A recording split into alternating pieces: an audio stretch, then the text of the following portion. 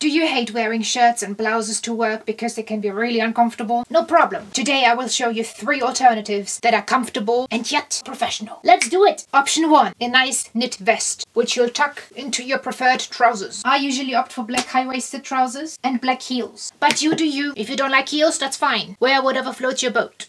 It's comfortable, minimal, and doesn't cost the world. Moving on to alternative number two. A cute knit top. Knit tops usually look more classy than t-shirt fabric or polyester. But what if the fabric is actually metallic and glittery? You will attract magpies. Because as we know, people are magpies and are attracted to glittery stuff. If you wear glittery stuff, you make lots of friends. This can be a good thing at work. Vitamin C connections. So glittery tops can be magic. Moving on to alternative number three.